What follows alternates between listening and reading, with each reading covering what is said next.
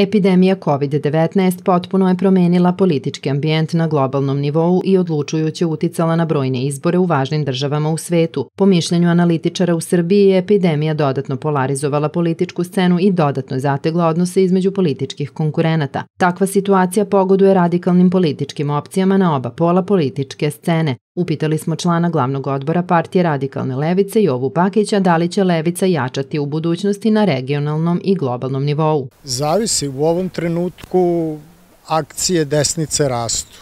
Dakle, više izgleda ima radikalna desnica od radikalne levice da jača, ali ono što je danas ne mora biti sutra.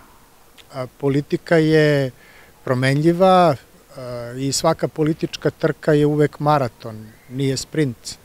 Prema tome, zavisi dosta od e, sposobnosti levičara da se organizuju, zavisi dosta od međunarodnih okolnosti, dakle, nije isključeno da će čitav svet utonuti u divljaštvo i onda tu za levicu ima mesta jedino u nekoj oružanoj borbi, ali o tom potom. Dakle, u ovom trenutku e, možemo samo reći da radikalna desnica sa svojim e, teorijama zavere, sa e, idejom o tome da se preko vakcina čipuju ljudi, da 5G mreža će zapravo potrovati sve i da je COVID posledica toga, da sve hoće da nas prate i tako dalje i tako dalje.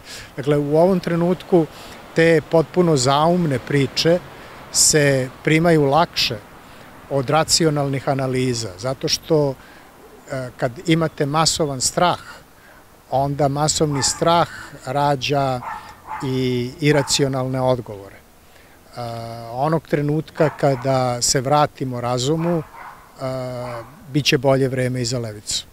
Zabrinutost od ekstremističkog ponašanja krajnje desnice širom sveta, koja je učvrstila veze tokom mandata prethodnog predsednika Amerike Donalda Trumpa, pojačana je posle napada na američki kapitol. Pristalice rasističkih krajnje desničarskih pokreta širom sveta dele više od zajedničkog motiva, pa su tako godinama krajnje desni ekstremisti iz Amerike i Evrope razmenjivali ideologiju i inspiracije na rubovima društva i najdubljim delovima interneta. Svedoci smo jačanja desničarski nastrojenih organizacija migracija i u Srbiji, od pojave antimigrantske politike do izazivanja nemira prilikom određenih kulturnih dešavanja. Sociolog Bakić je istakao da smatra da u ovom trenutku desnica ima veći potencijal za jačanje od levice, jer se radi o kriznim vremenima kada se stvaraju brojne teorije zavere pogodne za širenje desničarske ideologije. On je dodao da se nada promenama u budućnosti, ali da te promene iziskuju maratonske trke, pa bismo se laganom povratku, razumu i racionalnim rešenjima vratili na put levice.